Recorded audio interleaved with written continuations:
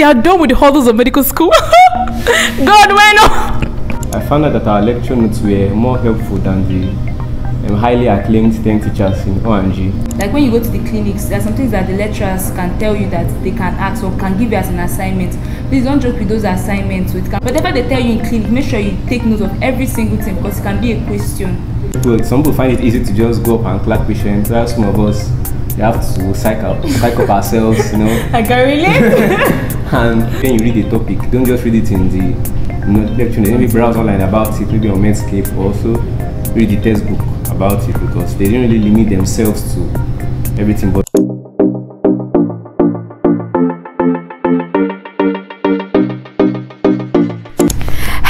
everyone, you're welcome back to my channel. It talks with Ogo here with you today. On today's video, you can see two guests on my channel. You know me and guests, someone. I don't know if I can do any other thing without guests in my channel. Just get used to it, you guys. So, you guys, so today we're going to be talking about how to pass pediatrics and O and G. Pediatrics is a course done in the 500 level medical student of Nigerian student. Though I don't know for how outside abroad or something, but in Nigeria, it's, it's a 500 sorry, it's 500 level med- medical student exam. It's a fourth MBBS exam. Okay, so my right here is she'll introduce herself, but you should know that her fire her head is fire fire like you know distinction candidates. And here too distinction candidates. So you guys so just get popcorn or maybe get your pen and jotter and make sure you write every single thing they're going to say here. And make sure you apply. Don't just listen and enjoy the moment without you applying it to your life. And me too i'm in that class. I'm in fourth MBS so i need help I want to pass too as well. So you guys make sure you guys subscribe to my channel. Very important. Okay, subscribe to my channel, like and comment and share to your friends. Anybody that would need the advice. It's, it mustn't be a student of UNN. It might be a Nigerian student, medical student. that will need the help to listen and learn how to do well in your um, pediatrics and O&G. So without further ado, I would like them to do, introduce themselves. Yes, I forgot. Who am I to say this? Like, how can I forget that these are doctors? They are doctors, you guys. Like, they are done with the hurdles of medical school. God, why not? Anyways, please let me allow you guys to know who they are. Let them introduce themselves to you guys, okay? So, all right. Okay, I'm Anaside Bube and I'm a graduate from the University of Nigeria in Nsukka. Yes, and you? okay, I'm Okunko Kenechukwu Judah. I'm a graduate from the University of Nigeria, Nsukka. I'm glad to be on this channel. Yes, they are glad, definitely glad to give you all the things in your brain so that you can learn and be good. all right, so let's move to the next part of the video, the main part of the video. What materials or textbook do you use to pass, like to any- like to pass in medical school in pediatrics and O&G? What are the textbooks you use? And yeah, Okay, for my obstetrics and gynecology, I used um, 10 teachers. And for my pediatrics, I used 99 authors. And then I also read the materials, especially for O&G. The materials were very, very, very important, but even pediatrics. sha. And then I also read part of Abu Agboola for O&G, but I stopped halfway and then continued extensively in. I continued using M10 teachers more. okay, ten teachers And more. materials. Okay, ten teachers textbook back. Yes. Okay, you? Okay, so for me, um, for obstetrics and gynecology, um, I focused more on um, our lecture notes. Okay, not that I focused more on lecture notes. I read 10 teachers, I read our lecture notes, but I found out that our lecture notes were more helpful than the um, highly acclaimed 10 teachers in O&G. Are you guys listening? Copy your notes in classes. Make notes. Don't be for me that you remember. Make notes. Very important. Take notes. All right. Okay, so, so that's why I mentioned the lecture notes first. They were more helpful for us, or to me, the exams than the 10 teachers. But of course, I also read the 10 teachers. At some point, I also consulted the um, obstetrics, obstetrics textbook called um, Comprehensive Obstetrics. I also consulted our teachers. Um, That's gynecology 10 and- teachers now. No, our different textbook Oh. by some lecturers in Ebonyi State. But anyway, still, like it's still um, is more in line with what we do here. It's more in, of a local textbook, similar to Agboola. Uh, So that's our teachers. And I also consulted some. I read some things there. Then for the OSCE and the OSPE, um, there was a book called um, Guide to History Taking in OSCE. I didn't really use it that much, but I feel to be helpful. guide to issue taking in OSCE. And then there was a procedural book by um, the current HOD, um, Ioke, and some other lecturers. So that book was really helpful because in the exam they asked some questions about some procedures like um, insertion of the implants, um, implant on implants was there, and some other procedures. So that book was also helpful. Then for pediatrics, of course, um, lecture notes were also very helpful. I think I read mo- much of my reading was on lecture notes. I also consulted the Azubuike textbook, um, which, which is also known as 99 authors, um, for some particular topics. Um, then, med for OSPE, um, what I used for was um, the OS, past OSPE materials, the past OSPE pictures. But the point was that they didn't repeat question, they didn't repeat questions much.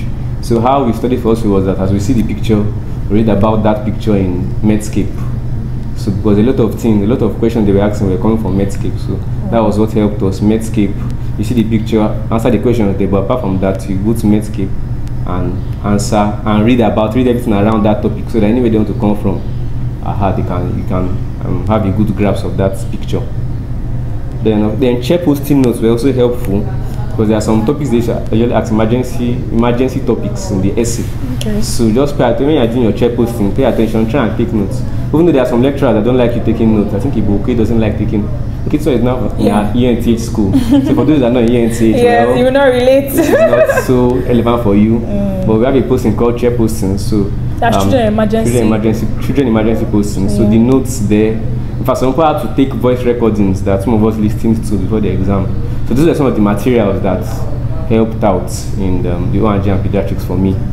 okay. Alright. And then um, don't joke with your posting notes. I forgot to say that one. It's very very important. And also those things that like when you go to the clinics, there are some things that the lecturers can tell you that they can ask or can give you as an assignment. Please don't joke with those assignments. So it can come out either um, your MCQ questions, your MCQ or your essay. Because I remember the P1, our P1, the first um, test we had for pediatrics, I was in endocrinology unit, and then one of the consultants gave us an assignment concern related to hemolytic uremic syndrome. I should read about it extensively, and then surprisingly, I saw it as one of the questions in our MCQ, um, the MCQ they gave us for the P1, and they did not teach it because they don't limit themselves to the P1 topics. You get. Uh, they also even asked us even the chair questions in P1. They asked us um, uh, this resuscitation, like the sequence, if it's CAB, ABC, you get. So practically, you can't limit yourself to a particular a particular like they say P1 test, you now limit yourself to P1 test or P2 test, you now limit yourself to P2 test because they can ask anything. So whatever they tell you in clinic, make sure you take note of every single thing because it can be a question. Get. Thank you very much, um, Dr. Ibube and Dr. Judah. You want to say any other thing? Okay, so- And then the book that um, um, Judah mentioned, that's um, Professor UK's book. Um, there, uh, he talked about it for OSCE. I also found out, but I found out late, that Yeah. there were there were pictures there that came out in our OSCE. But it, I found out late about it, so I was not able. I was just regretting why I did not look at the book. Get, okay, so please don't be finding Uh, out that like very so know it on time. Yeah. Early to bed, early to rise. All right. So next question. Thank you very much. Question is um, what were the challenges you faced while studying for this exam? Because because you know now we've heard that in pediatrics and pediatrics specifically, that's where they have more receipts and most of the time after even after the receipt itself you might not even still pass the receipt. So like wh- what what do you think were the challenges that you could face so that you or you faced and you wish that um, you knew how to handle it or something or you handled it at the end of the day? So what challenges faced while studying for the exam? So who who wants to say first? Okay. Okay, so um, challenges I faced preparing for the exam.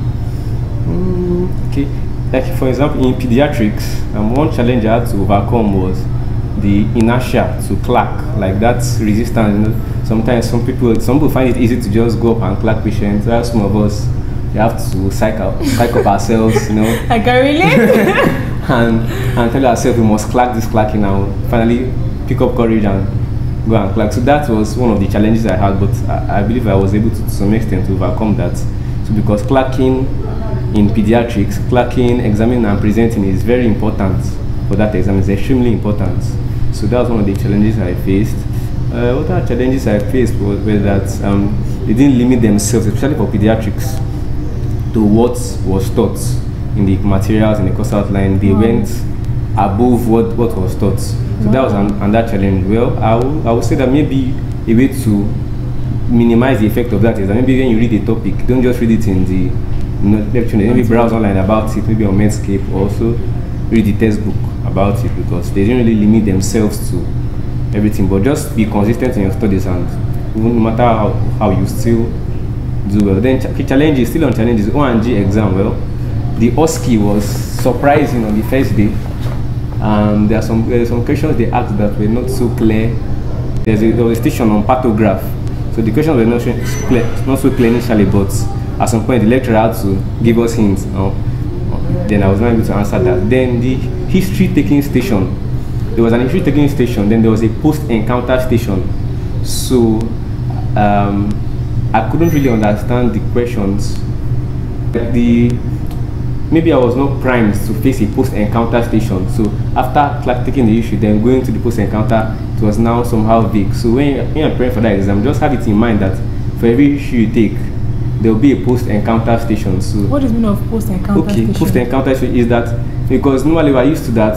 Um, OSCE, you just go and ask patients, start firing questions, firing questions, firing questions, and the patient will give you the answer. In fact, initially what we were thinking was that the, the patient doesn't even need to answer. You just ask the question of the marking scheme and they will get your marks. But Yeah. no, the patient have to have to answer you. Then you have to remember the responses of the patients Hmm. because in the next station they cannot ask you from the from the history gotten from the patient what was your most likely diagnosis can ask you um, what is the investigations you how you investigate these patients how you treat these patients so just have that in mind so apart from that um, the other challenge was that well, well it was stressful but is there any exam that isn't My stressful dear, medical school every time is stressful, So you know. that's just, just to make the stress a little easier, not as if they will not be stressed. They will still be stressed anyway. So Okay, the challenge I had in pediatrics, I think I had more challenges in pediatrics than O&G because pediatrics is very that's my much distinction, mama. pediatrics is very extensive. At least O&G, you know that cervical cancer, ovarian cancer, infertility, postpartum hemorrhage, you already know that it's streamlined, unlike pediatrics. So it was really hard in terms of clerking because you can clerk a case now and you'll be very good at you'll be granted in this case. And then you now all of a sudden maybe today you now clerk a case you've never seen before in your life for pediatrics you get On that day, like maybe on that day or maybe normal postings and all that. so sometimes my clerking during clinic um, days were horrible. Sometimes they were good because i had clerked that similar case. So yeah so pediatric well pediatric um, posting was like the the topics were very much extensive for me. So i had challenges with clerking at first but i had to keep on doing it because i just i i forgot about the shame of maybe anybody laughing at me. I just clerked anyhow if, Anyhow. even if they had had it was a challenge for me but i kept on trying my best and all that. So it was very extensive. Also another challenge i had for pediatrics was the mcq jesus christ. The mcq the mcq is wonderful. Many lines. There are a lot of like to write a, a long clinical scenario especially for our main that was a big challenge with limited time and all that. So that was those were the two challenges i had for pediatrics. Okay i also had another challenge by OSPE by OSPE um, the they shocked us. We were shocked by our OSPE you get they brought questions that we did not expect. That was for the mock i think i think the mock yes. So these were the three challenges i had. For o&g okay the challenge i had was those baby catching days. It was, it was really stressful. stressful yes. serious? it was really really stressful. We had to really push we had to sleep um, in the hospital in order to fill in the gaps like for many them to babies sign per person that you will catch? yeah, what is it 20 25. 25 yes i think five for you trying your hands on something trying Five to remove special- plants five eh, special cases. eh, five special cases maybe twins or i've gotten other ones but five special cases and then 20 that you just observe and then you sign And then it was very stressful. it was stressful So 20 was really much like for to get 20 babies. no it was not that stressful stressful for, for me but it was still stressful because but the reason why it was not stressful like um, some people that went to another um, hospital was that I, I was posted to ESUT so Okay. ESUT they had children Okay, around, like they yeah. had pregnant women coming around Yeah, that so it was period. easier. it was easier but still stressful because I Of still had to course, sleep of course, Yes. yeah. so that was one of the areas that I found um, Challenging. challenging. And then that area was um, um, during our OSPE. We were so shocked. They brought out questions that even some of the um, examiners, some of the consultants were like Surprised. shocked, yes, by the questions Hey. that were brought out. I And it was the it HOD that said was the HOD the that said. Yes. Yay. So you have to just make sure that your your eyes are very much open during postings because they might just snap anything during surgery, snap anything and just keep it. Like I remember my O and G one. So I'm sorry, this is not the question. Yeah. But my O and G one, the um, one of the consultants snapped um, um, urethral catheter, urethral catheter being tied around the uterus and told us that they can. If you see this kind of picture, they just know that is related to myomectomy. Shebi, yeah. So it was one of the things they brought out there.